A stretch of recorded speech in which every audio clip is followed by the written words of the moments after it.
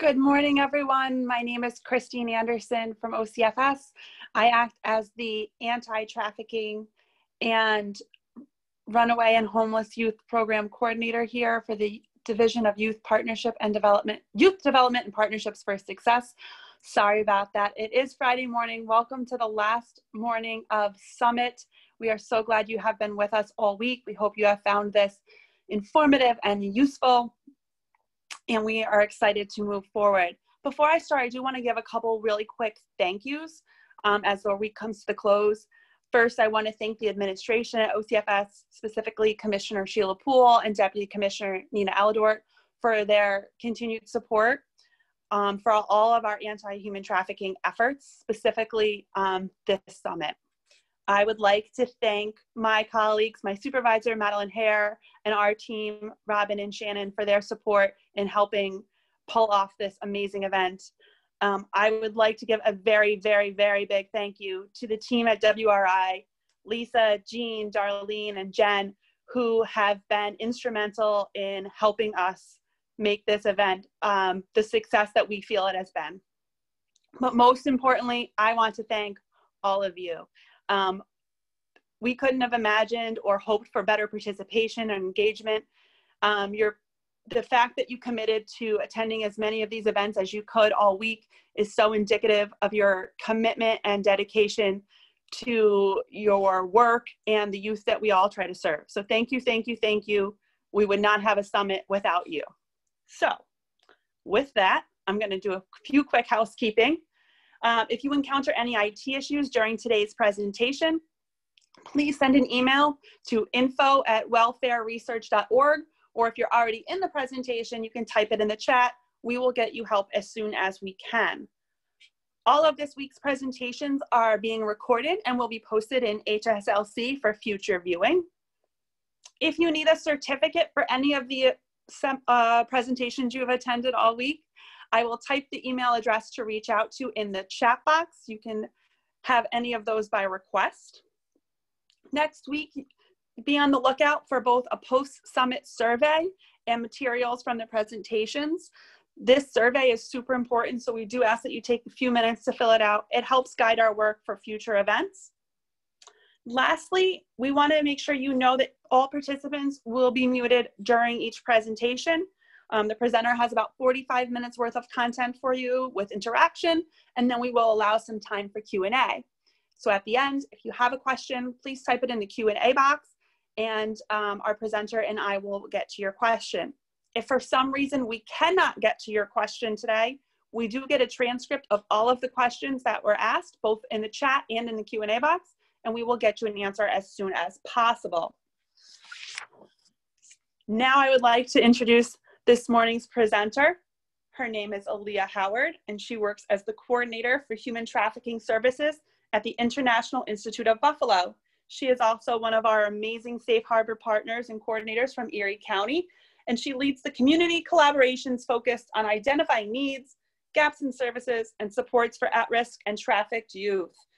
She's a regular presenter to groups about human trafficking and coordinates service provision for adult and youth survivors in Erie County and across Western New York. I am super excited she's here, here with us today, and I'm gonna go have some more coffee. so I'm gonna hand it over to Aaliyah.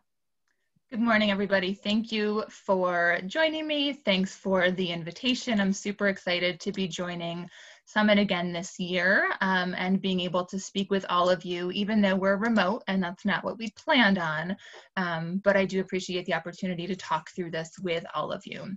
So as Christine mentioned, um, we're going to be talking a little bit about our, well, a lot of bit about our transition to doing remote work with trafficked and at-risk youth, specifically around supporting youth who are AWOL through through this time of COVID and and um, whatever comes next.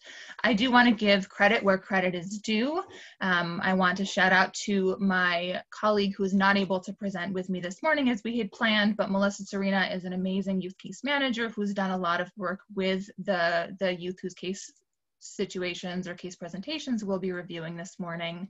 Um, and helped with some of the content here. So I want to give her some credit. My contact information is there. And of course, all of this will go out to folks afterwards. So please feel free to reach out and, and have additional conversation. I love talking about doing youth work. I love talking about human rights approaches to anti-trafficking work in the United States. And so I'm happy to have lots and lots of these conversations with folks. So I want to let folks know that we are based out of the International Institute of Buffalo, where we've been doing resettlement work in Western New York for over 100 years at this point. Um, we started doing anti-trafficking work in about 2007. We're the co-facilitators of the Human Trafficking Task Force of the Western District of New York, which is a mouthful, but it's one of those big multidisciplinary teams that does anti-trafficking work in terms of identification and awareness, survivor support services, and then the investigation and prosecution piece of it. So when New York State started funding, OCFS started funding counties to do anti-trafficking work, it really seemed like the, the International Institute was going to be a good fit to be able to start doing that work for youth where we are and where we're from.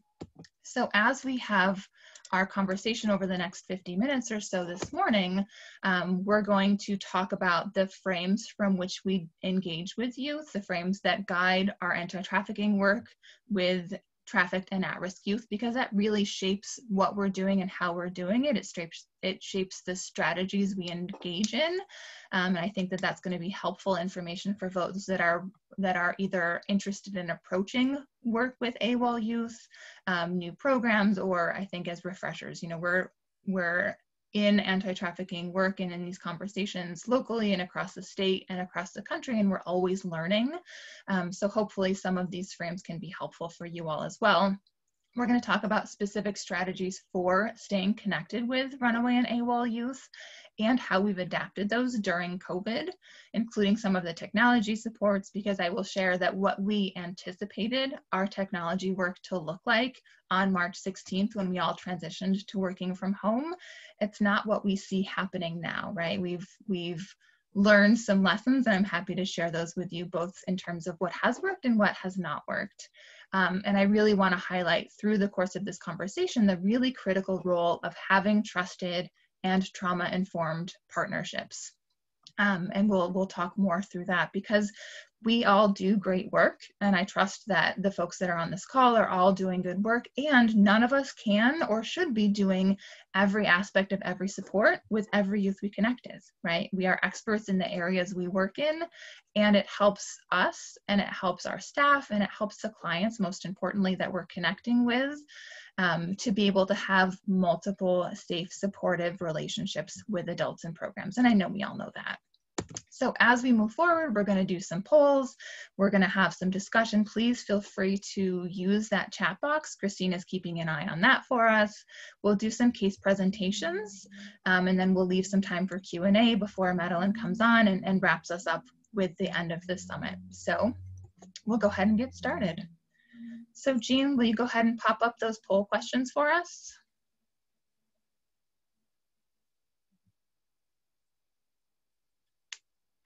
I will remind folks that these are anonymous poll questions, survey responses. No one's going to know that they were yours.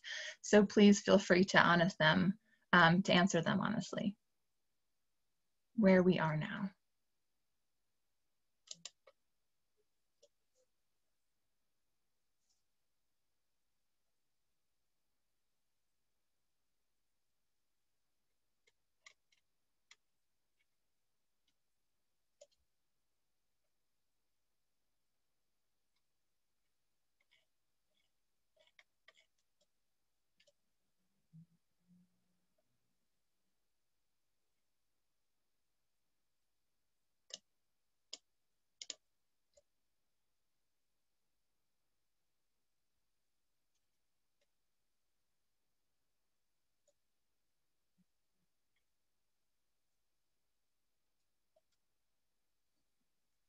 So please, if you haven't, go ahead and enter your responses into those polls and then Jean's gonna close it up for us when we hit about 50% um, or so participation.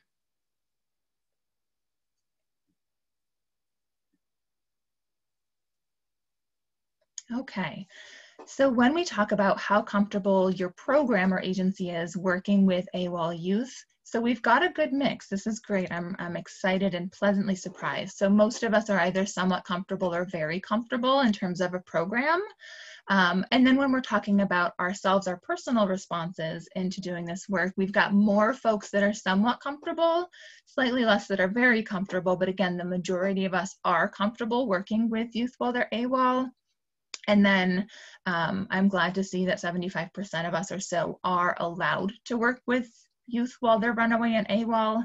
Um, and then I will acknowledge that 25% of us on this call on this on this Zoom training are not allowed to or able to work with AWOL youth. And I'll share that that's a really common frame or a common message that we get from other providers in our own community. So I think that it's helpful for us to recognize that while we want to be supporting youth while they're running away, while they're AWOL, in and out of placements, etc., not all of us are able to as our programs currently stand. And many of our partners that we rely on to do good work in terms of trauma treatment, in terms of preventive services, might not be able to do that. So it's definitely something that we need to keep in mind as we're as we're navigating service maps for youth while they're AWOL. Thanks, Jean. All right. So let me back us up a little bit and really provide a foundation of the frames that we're working from. And I think a lot of these are going to be familiar for those of us who have been doing anti-trafficking work longer. Um, and when we're working with youth specifically, some of them adapt to look a little bit different, but the values and the frames are all here. So again, I'm, I'm happy to answer questions through the chat box, pop them in there. We're gonna save time for Q&A, but I wanna be able to provide this foundation and this kind of introduction to how we work with youth. So obviously we are providing trauma-informed care. I'm sure that everyone on this call have either written a million grants talking about how we provide trauma-informed care or we're training staff. Um, but I highlight it because we really do interweave being trauma informed into every aspect of our youth work.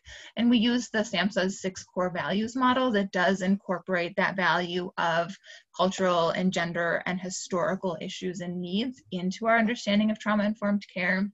Because as we recognize that those root causes and key vulnerabilities for trafficking are based in poverty and family conflict and some of these bigger oppression and um, other dynamics that we see on that kind of society level, having that additional understanding into providing trauma informed care and services and what some of those barriers to accessing other resources might be for our clients is something that's really important as we continue to weave this in you know we could we could talk a lot about being aware of stages of change and aspects of motivational interviewing and how those interact and weave in also with being trauma informed in our work with youth.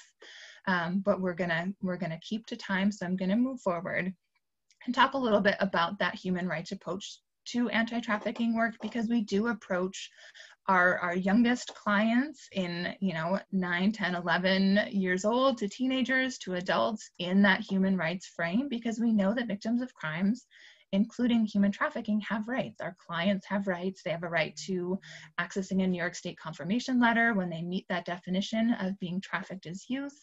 Um, we work in frames of, of youth autonomy and talking through choices. We have lots and lots of really clear, really honest conversations about what human trafficking is, what vulnerability is, and do a lot of work around rights and choice, right? Because our goal in working with youth and supporting youth is to help them be safer so we can reduce those vulnerabilities, right? As they're teens, as they're moving into young adulthood and as they're adults, right? So building those decision making skills in ways that are going to be more informed and help build towards safety are all things that are woven into that human rights approach to, to anti trafficking work. We know that it doesn't work to take kids' phones to keep them safer. We know that locking them up doesn't keep them safer in the long run, right? And so these are the approaches that we take that help us support youth better and that obviously melds into that idea and that frame of, of really doing harm reduction work. In child welfare systems, I think that that's more commonly referred to as being risk tolerant, but harm reduction is, is beyond where it started in, in HIV work, in substance abuse work. Harm reduction is working towards safety in whatever element or whatever aspect of a youth or a client's life we're talking about, right? So ways to stay safer right? And again, keeping in mind those stages of change that model around meeting youth where they are and helping build towards safety. How are we bridging youth back to other systems, whether it's a guardian or a foster parent or a county guardian or children's services or a placement how are we building bridges back to folks? And we're going to talk about some of those strategies specifically that have been really successful during covid um, but we're really working towards that model of, of harm reduction. And again i do want to highlight that element of having truly trauma informed and trusted partnerships and those are partnerships that are built on the long term, right? We maintain good communication with our partners. We let them know um, what we're doing and how we're doing it. And so when we have a case where we've got a young person who needs support, um, we want to be able to talk them through what to expect and give them realistic understanding of what to expect. And sometimes that looks like having a relationship with a provider that means that they'll see a young person for a physical exam in the middle of a pandemic with a guinea pig in that young person's purse because she didn't feel safe enough to go without one of her companion animals. And we were able to um, help make that guinea pig the safer choice rather than have her try to walk into a doctor's appointment with her pit bull who would have not allowed her to be seen at that moment right? So a lot of that um, working with and collaborating with youth and you're going to hear in interwoven with all of these frames and in the case presentations that we're going to talk through, um, that relationship is really key, right? So you're going to hear themes of setting safe and respectful boundaries around our communication in real life and through technology. And you're going to see and hear how some of that relationship um, really again guides that work because for many of the youth that we work with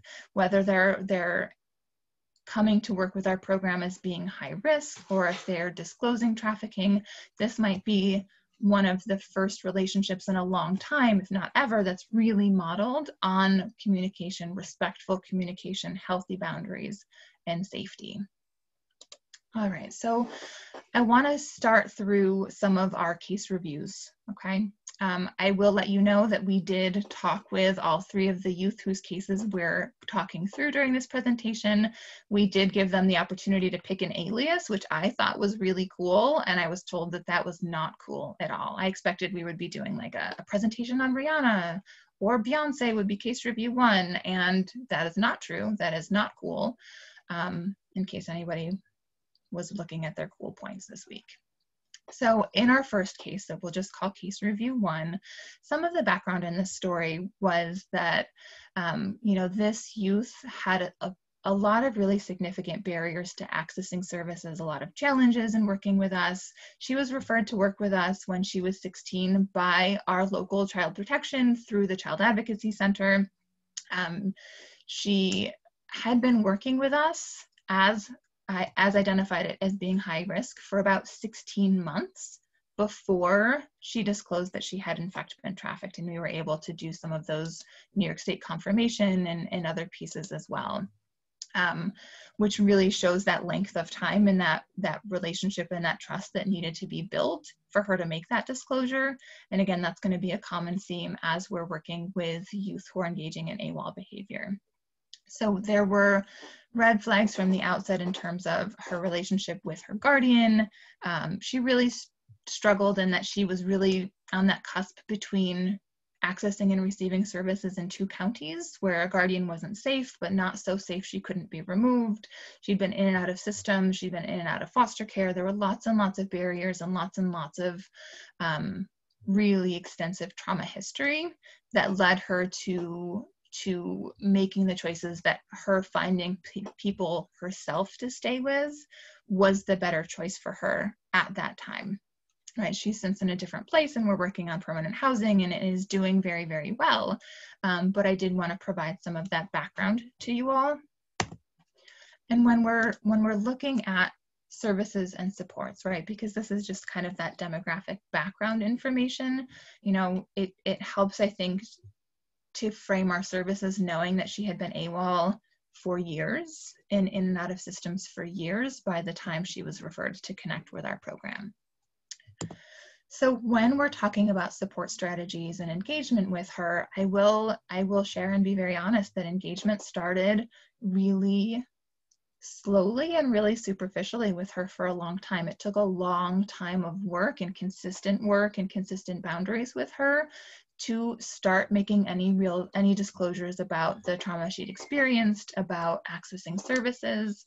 A lot of her exploitation looked like threats that systems were going to report her, that she was going to go to jail if she asked for help, that no one would be able to believe her. Like a lot of that exploitation really looked like her not being allowed to or encouraged to feel able to ask for help or seek services from people that were systems involved. So a lot of that early engagement was, you know, a text message here or a text message there we were able to start doing meetings with her in restaurants where she would almost inevitably bring a guinea pig or bring a pet rabbit in her purse to a cafe or to a restaurant for a meeting. Um, but those were ways that she was able to feel safer. And through the course of our engagement with her, we did get those disclosures that trafficking had happened um, quite some time before the referral, and she was engaging in survival sex um, more recently, including during the beginning of COVID. Um, but that staying connected looks like for her having a really set schedule of contact with our program. So for her, having a mid morning every single Monday and having a Friday afternoon every single Friday afternoon set conversation time with her dedicated case manager is what's most helpful for her. She needs that kind of bookend for the week or planning around weekends, planning on um, knowing who's going to call her when and what that's going to look like has been really helpful. And of course, she engages around um, if something else comes up. They're doing a lot of text messaging in terms of technology, one of the, the most helpful things that we've done with her has been able to keep her phone bill paid so she can speak to her doctor that we got her linked up with that we'll circle back to in a moment, that she's been able to keep in contact with CPS workers when investigations have been open and other partners as we've helped her develop those relationships. Um, we've done, she does like Facebook. Um, she's not so into video chats and video calls, but she's doing um, some Facebook chatting, and that was really how she allowed us to introduce new partners to her. We introduced her to some medical social workers and some other providers first by Facebook chat. So she could see that we were there. She could see that we knew what was being said. It was a really support mechanism for her to be able to have her case manager who she already trusted involved in those communications. Um, and then after a few weeks of that kind of group chat she was then willing to have one-on-one conversations with that new provider um, our work with her has changed in, in the time of COVID and that we're not having regular weekly meetings with her right now. Um, we've sent lots and lots of care packages. We've done a lot of Amazon delivery, very honestly, in terms of being able to, to meet the needs that she has for coping strategies, for self care, for kind of maintaining her sense of self through COVID and maintaining her physical health as well.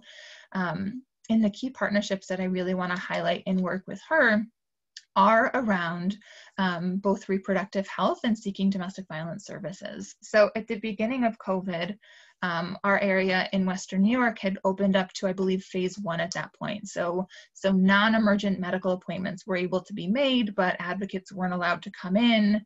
Um, it was, you know, it was we were just starting to open up and she disclosed that she needed to be seen. She was worried about having a, a, yeast infection and she needed to see a doctor. And so because we had a partnership with um, this specific reproductive health care center where we knew that they would see her without id because she doesn't have id yet um, they were able to see her without having her proof of insurance and all of that other kind of required documentation that one would normally expect to have to provide to be able to access medical care. We knew that they were going to see her. And we knew that through this partnership, that if and when she did show up with a bunny or a guinea pig, that they would still see her. We knew that we were not going to be able to get a pit bull into their waiting room, and we weren't able to, sp- to send staff with her to to kind of mitigate that that concern either.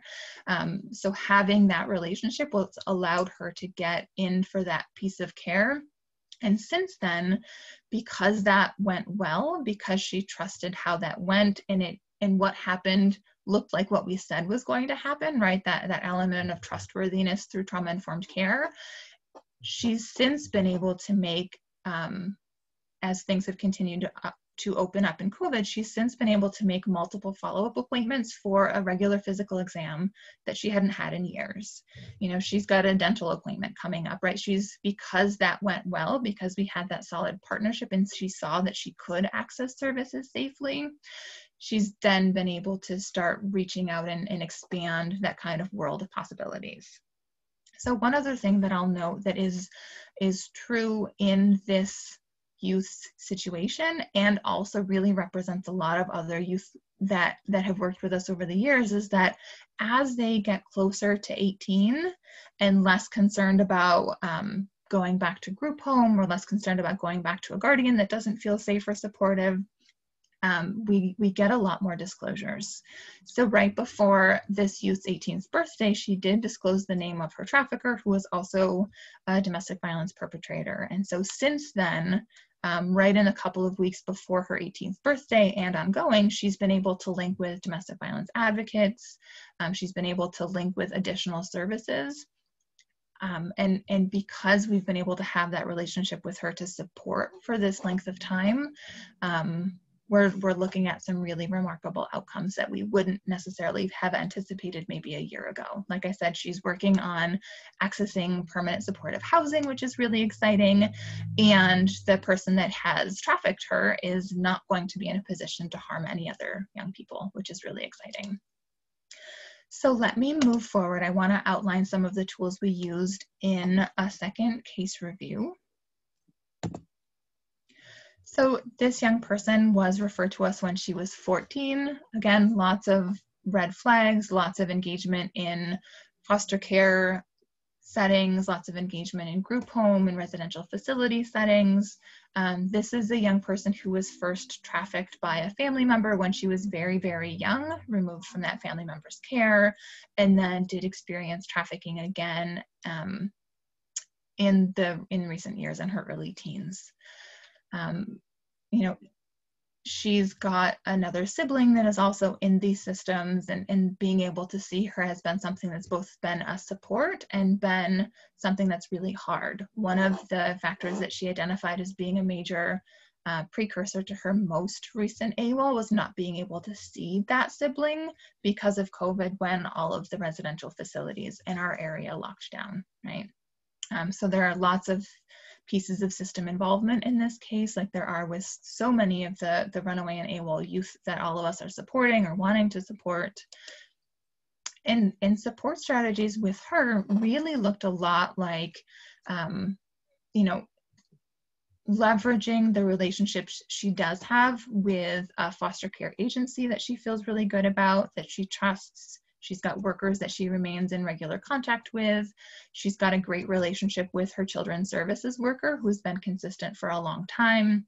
And so we've done a lot more three way meetings, a lot more kind of case conferences to keep engagement and to keep support with her and to stay connected her preferred technology is through Facebook. She loves to be able to do the, the call feature through there when she's on Wi-Fi. She loves to be able to do group chats with folks that she that are providers that she feels safe with, um, and to do those calls in those ways. So again, we've been able to keep her phone on so she can stay engaged with her safe family members and her service providers as we're trying to bridge her back into care again. Um, we were recently almost able to get her back into a runaway homeless youth services provider and are continuing to work on more long-term plans with children's services with her. So some of the, the challenges to remote work with her have been really that she's um, she's trying really hard to not go back into placement and really wants to to move directly into foster care, which is something that's um, got some additional barriers for her, but is something that she's working forward and continuing with. So we're doing lots and lots of safety planning with her, lots and lots of support work with her. Um, and a lot of that is through those private Facebook features and through some texting with her. some of the partnerships that we've pulled in and really maintained again these are these are trusted partnerships that take ongoing work to maintain um, we've got MOUs in place. We've got long-term agreements where we train each other's staff and how services work. Um, but uh, like I mentioned, so the children's services worker has been incredibly helpful and supportive with her. They've got a great relationship and maintain very consistent communication, whether this youth is in placement or whether she's AWOL or whether she's staying with other friends um, before and between engaging more formally with systems of care. Um, she's linked with a voluntary agency around some of the foster placement work um, and the worker for there is is part of a program that's not supposed to be working and communicating directly with youth while they're AWOL. And she's done a lot of work to advocate in her program with her um, with their policies and procedures to change what that looks like and to be able to maintain ethical according to her program's rules um, support for this young person so she does continue to feel very supported which is fantastic um, and i will highlight um, additionally, a social work program that we have been doing a lot of work with, especially during COVID. Um, one of our major hospital systems has a social work team embedded in their hospital settings. So when we're able to to have a young person or an adult, honestly, go in to receive those medical services, we can have one of the social workers from their program meet a client at the door, talk them through, make sure that they have a safe and quiet place to wait for services and engage. They've been really invaluable partners especially during COVID when we can't have staff go to medical appointments as we normally would, and as it's been much harder for folks in our communities to be able to seek regular primary care. So while this young person didn't need an ER visit, she didn't have access to be able to see a primary care doctor. So by being able to have that trusted partnership in the hospital systems, she was able to really have that trusted experience we were able to link her with our program's medical social worker through that piece of things and really showing her that a community of adults, a community of programs believe her and trust her and see her value as a human being as we work together to, to support her safety has been something that's been really successful for her. Her seeing how many people are involved in case conferences and case reviews and, and having conference calls with her and about her situation has been something that's been, um, according to her, very, very helpful.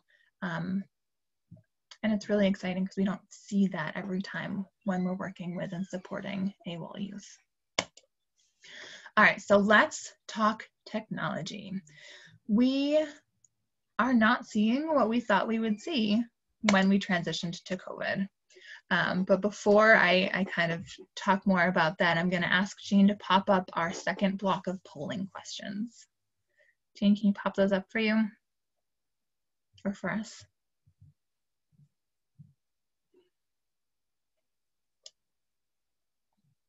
All right, so these are really around, you know, what are you able to do or not able to do in your work role in terms of accessing these technologies to maintain communication with young people.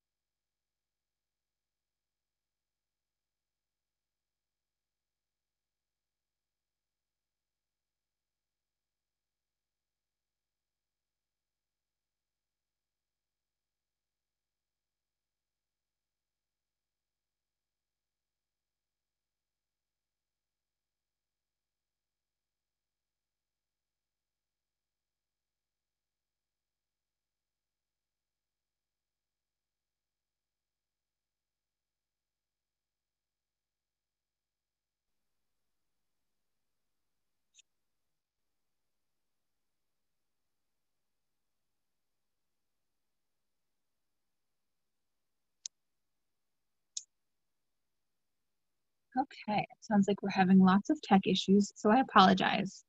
Um, and we'll get back up on the computer as soon as I can to share that, that, that PowerPoint with you. All right, so let's take a look at these polling questions. So do you, does your program have rules against texting youth? So many of you don't. This is fantastic. Um, many of you are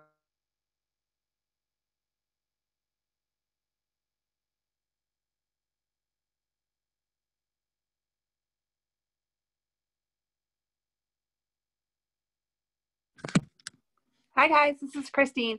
I'm just gonna pop in and share some answers. Said um, we were very uncomfortable, which is really exciting.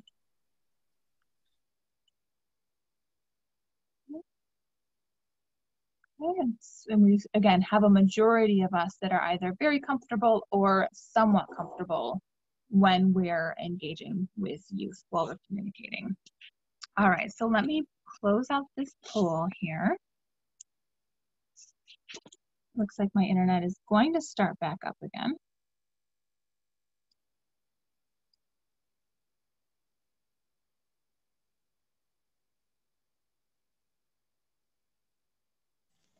All right, I think I'm back up and running. Great.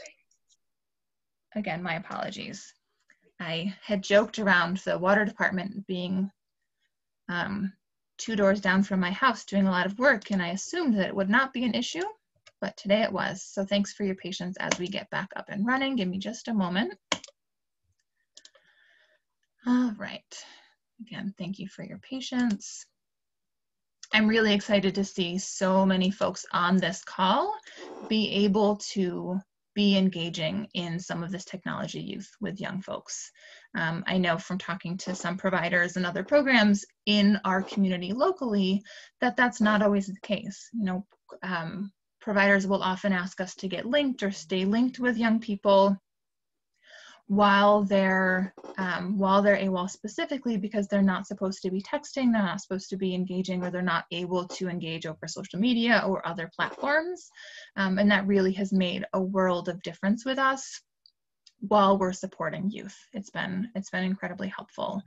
So the the work for us in a non-COVID or pre-COVID world looks a lot like having one-on-one in-person meetings with young people in fast food places and restaurants, in cafes, in schools, in homes, um, and many of those other places in residential settings.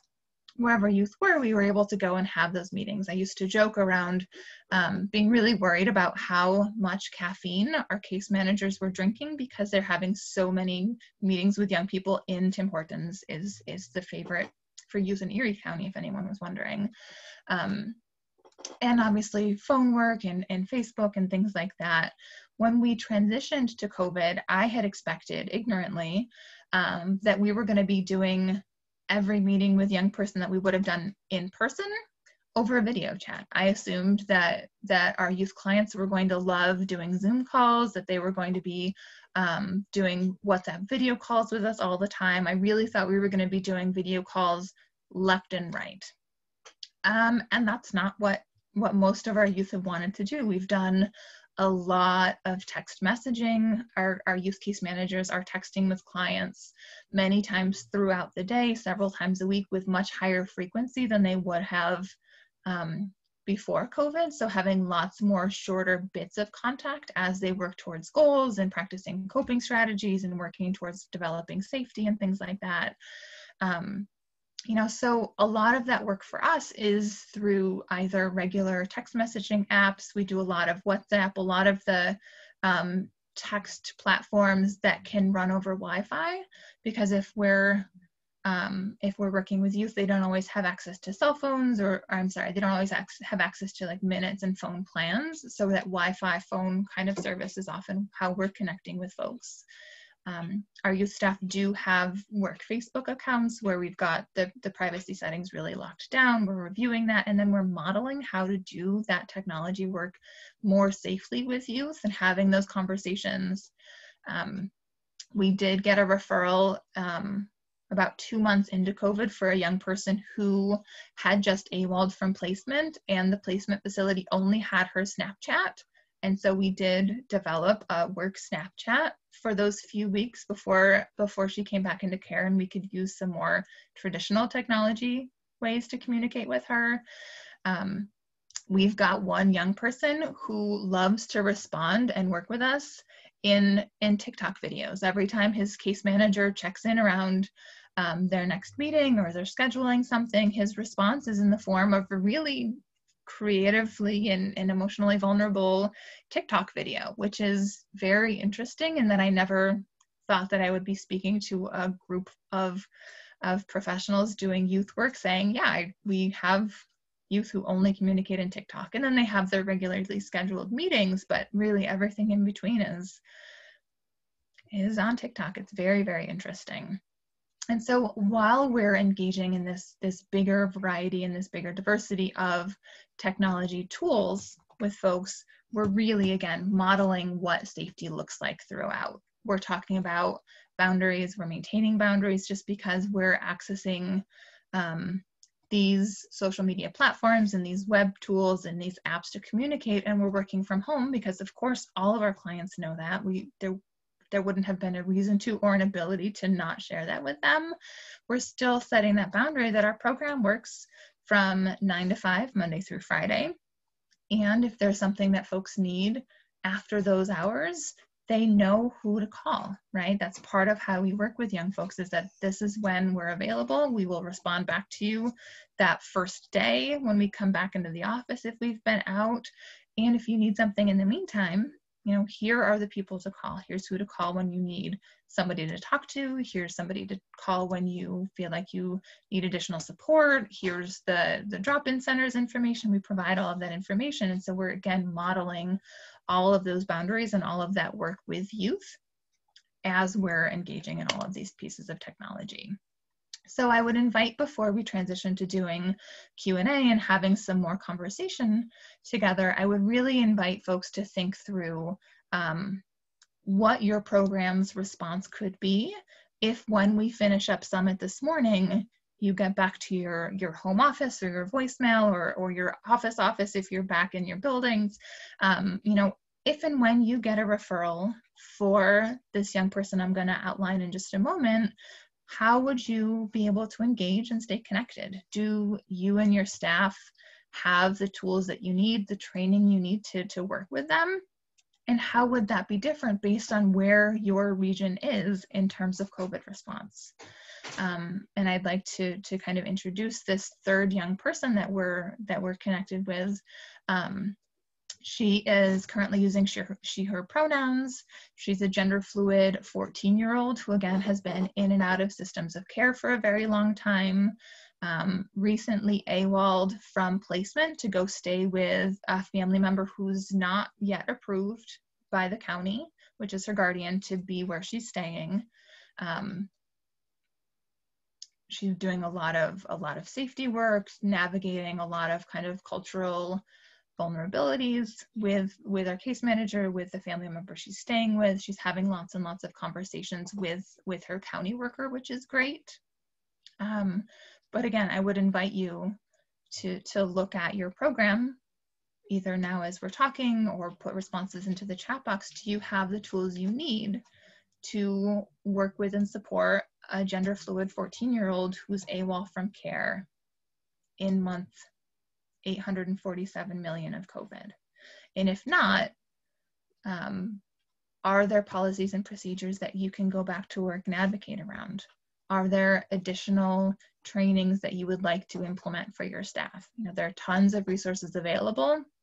As much as I will complain along with everyone else around doing more Zoom trainings. There's so many resources available to be able to brush up on our skills if we don't feel like we have that capacity um, to work with and support youth in the same ways that we wanted. And one tool that I'll that I'll share while folks are thinking about that is that we've been able to have really productive meetings with youth, either youth in care or youth while they're still AWOL with their county workers over Zoom in ways that I didn't ever think that we would be able to do that. A lot of that communication normally looks like um, three-way calls where nobody's in the same room, but we were able to recently do um, a Zoom call with a young person and her county worker around what her options are for coming back into care and how that could look, which was really exciting. All right, so again, feel free to put some of those responses into, into the chat box, into the Q&A, um, because I guarantee that, that we are not the only county being asked to work with youth who are in these positions. All right, so let me go ahead and look at some of these Q&A boxes or some of these chats that Christine has put in for me.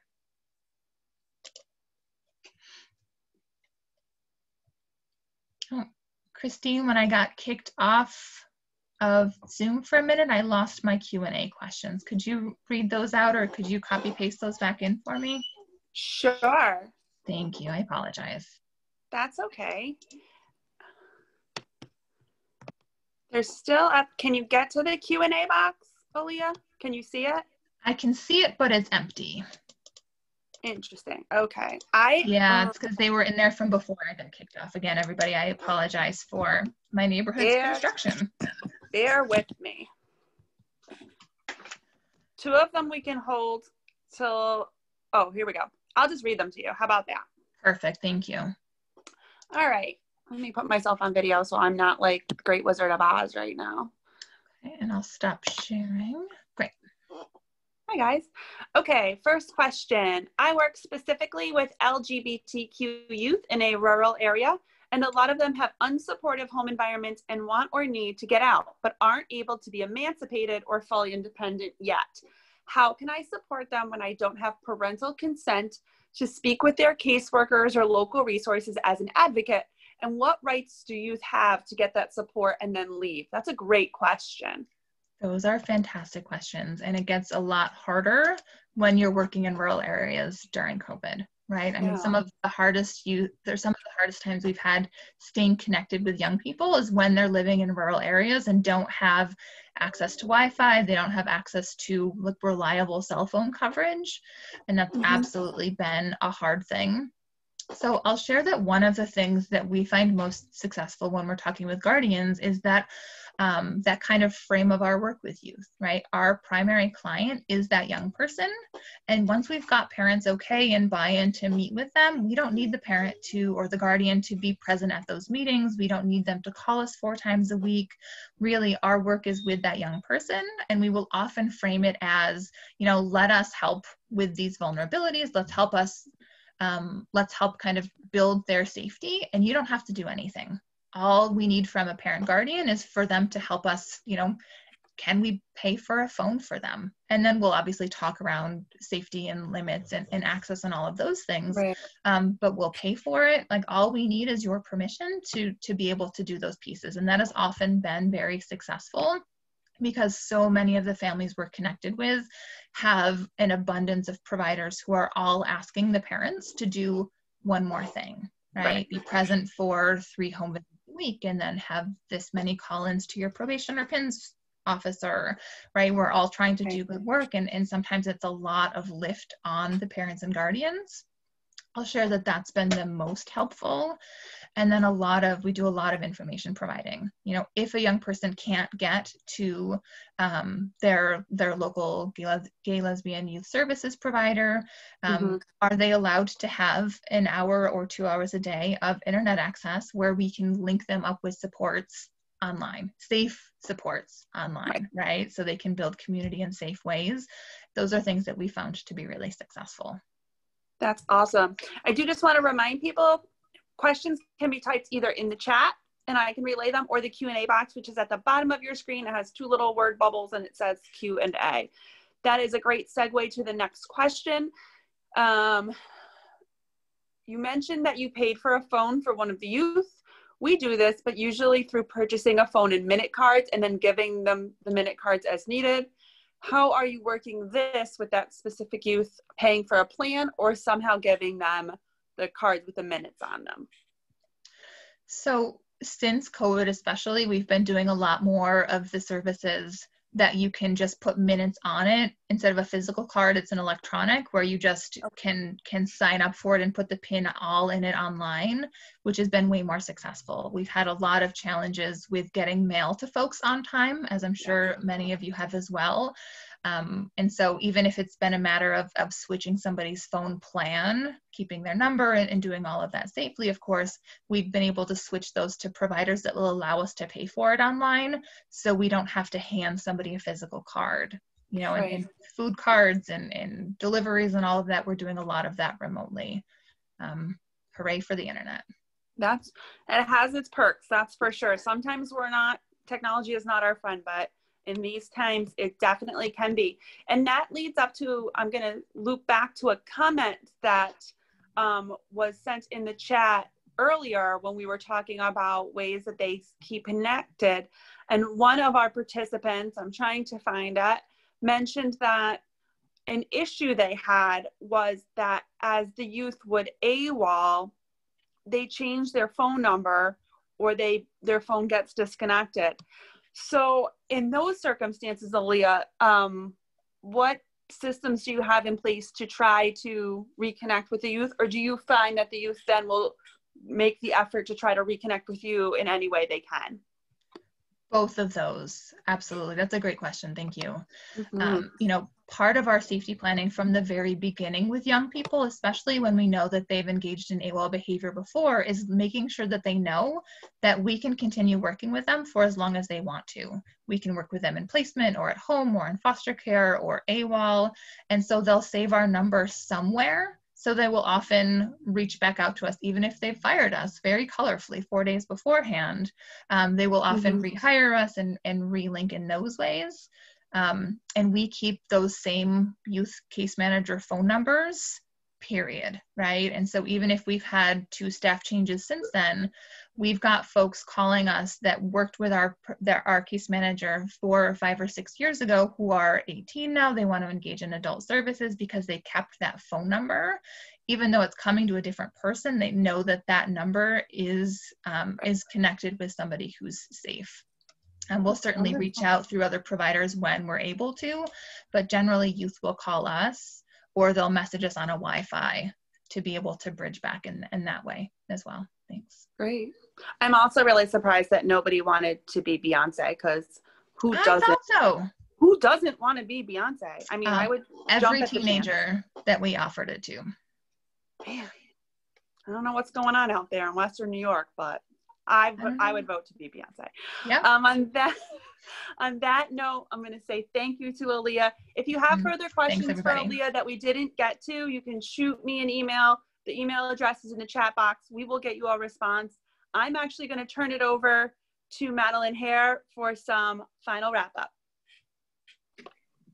Thank you, Aaliyah. Thank you, Christine. Um, I'm just so energized by all of these presentations, and I love, Aaliyah, how you framed at the very end um, young people firing and rehiring um, because that's really when we talk about where the youth's at and youth-led services and positive youth development and voice i mean that's really what it's about right? We we can get fired and hired unlimited times and that's okay. We're still here to offer the same things. Um, so we are at the end of our summit it's been a week of really fantastic presentations um, what I wanted to do with this last 10 minutes is to highlight some of the themes that we identified that came out over all of these presentations and then connect them to some questions um, that hopefully lead to action steps and make us think about opportunities. We're not um, sharing information for information's sake. The purpose of sharing information is really to put it to use to help serve young people better. So I have five themes that um, I want to just make sure we lift up before we close. The first one is vulnerability. Um, we know that the young people who are connected to our services are vulnerable. And we also know that COVID has really exacerbated those vulnerabilities for young people and their families. Um, we heard about how COVID is making young people more desperate, more willing to take more risks um, for less money we know that young people are being approached in all kinds of ways that we maybe hadn't considered before through things like Minecraft and uh, Fortnite and all the other apps that some of us are very familiar with, whereas others maybe are hearing about them for the first time. So just really being, um, feeling the weight of that vulnerability. And so the questions for opportunities that I wanna have folks leave with is, what are your programs doing to meet the basic needs of young people, right? If we know that young people are going to take more risks to make money so that they can meet the needs of themselves and their families or their loved ones, how can we meet those needs with them or for them to prevent that exploitation from happening? So for those of you who have access to safe harbor dollars, which really every county has um, at this point, is are you buying gift cards for grocery stores to keep on hand so that when young people present, you can hand them out? Have you connected with all of the providers in your community where young people go and make sure they have a food shelf stocked all the time? Have we provided phone minutes for young people? Have we considered paying security deposits for our young adults who are um, really at risk of homelessness, which is a huge correlate with trafficking vulnerabilities? So that's the first theme. The second we identified is prevention. Prevention came up in probably every presentation. And one of the things that jumped out to us from one of the presentations was that 20 to 30% of young people who were surveyed as young as nine years old, 20 to 30% of nine year olds, had already been exposed to nudes and sex in some way, whether it was their own or whether it was they received or were aware of those of their peers. So prevention is obviously a really important part of our work. So the question for action is, what is your program doing around prevention education? Um, we have, for a long time as a system, had conversations about healthy relationships, boundaries, consent. Are we making sure that the virtual landscape is folded into those conversations and not treating them as distinct? One of the things that is very clear is that our virtual and digital landscape is not an extension, or excuse me, not separate from real life, but it is an extension of real life. So we can't treat them as needing a separate conversation, right? It should be folded in from day one. Healthy boundaries exist in person and also online. We also heard from some of our pre presentations that prevention grounded in this doomsday fear kind of messaging is not effective. If we tell young people, if you do X, Y, Z, you'll never get a job, or no one will be able to help you, that doesn't create pathways forward, right? So the prevention that we do want to put forward is prevention that opens up doors rather than closing them. So that if young people do need to reach out, they know that they can and they know where to go to do that. Which leads into intervention. The third theme that I heard um, brought up several times is that when young people need an intervention, when something has already happened, just how intense the fear of shame and stigma is in preventing a disclosure. One of the presenters, I think, said not only are they um, concerned about the shame and stigma that we already know about and talk about, but also now you're adding the layer of being a snitch, right? Your peers are doing it, so you can't really um, ask for help without getting someone else in trouble. So how do we message around that?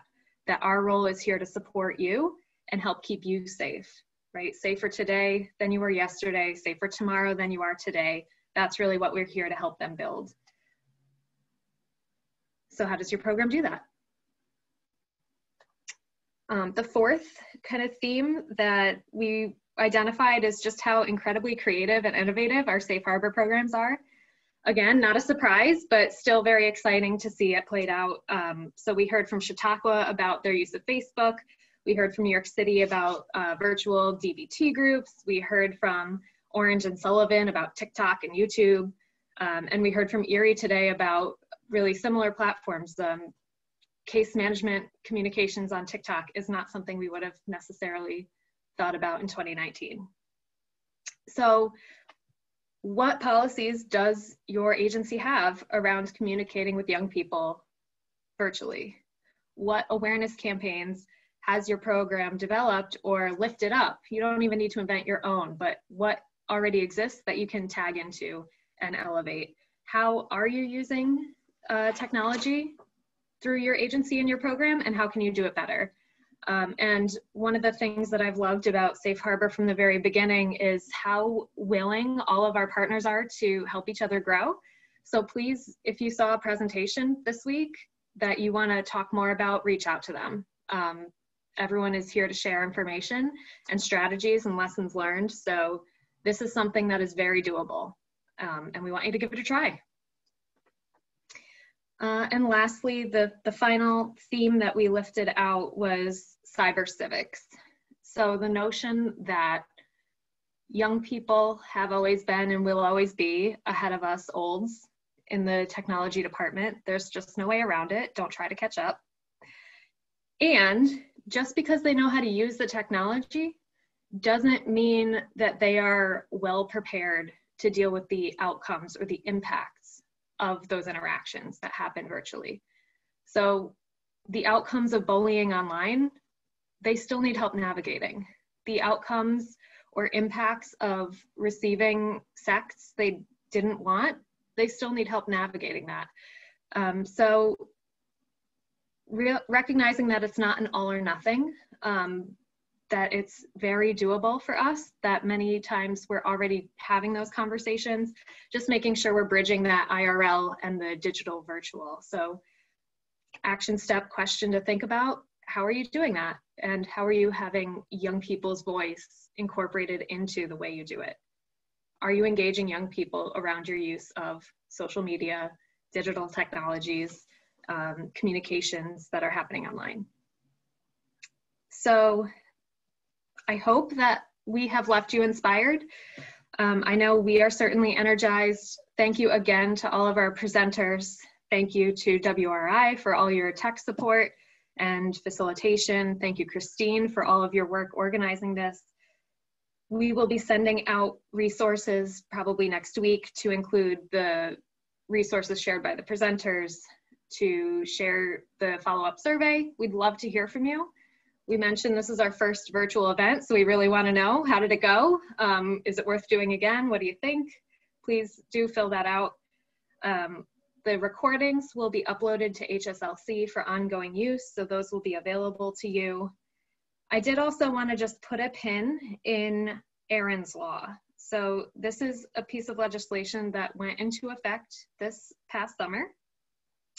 It requires that public schools teach child sex abuse and exploitation prevention from K through 8, meaning the schools now have a responsibility to embed prevention into their materials, and they're going to need help to do that. So, one other action step or thing to pull forward is to make sure you are communicating with your schools. If you have not already, ask them about Erin's Law ask them how they're putting it into place and can you be a support in that um, because the folks on this uh, webinar series and the summit really do have the expertise um, and we want to make sure that you're part of the conversation going forward.